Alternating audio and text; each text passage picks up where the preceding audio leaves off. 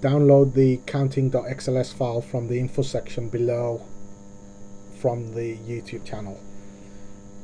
Once you've downloaded counting.xls file, double click on the file. It is compatible with Excel 97 and Excel 2003. Just enable your macros. This is basically similar to the number grid, but this is in the form of counting numbers. Again, the actual Excel file is locked, but you can print it off and use it as a worksheet.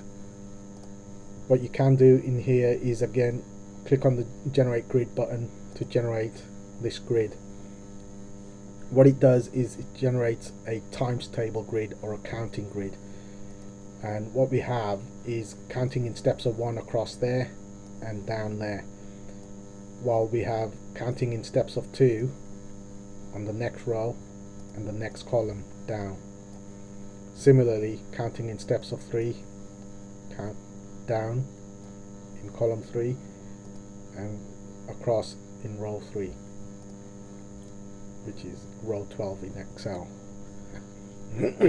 But on the grid it's row 3 so what we what you want to do in here is fill in the missing colored cells with numbers. These are the ones highlighted in, in the color here. And explain how you work them out. What you want is number pattern recognition. In this case you've got numbers uh, in steps of one going down in column one. In steps of two going down in column two on the grid. Steps of three steps of four and so on up to your 12 times table. And you'd have the similar pattern going across on this grid in steps of 1, 2, 3 up to steps of 12 taking to, taking it to a 12 by 12 grid which is 144 cells. Now what you want to do is try and get the child to fill in just the colored cells first to see if that if they can recognize the patterns without having to fill all the other cells.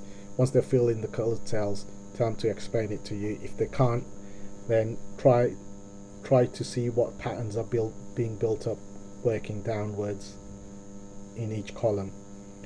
And you they'll usually realize that it's going up in steps of twos.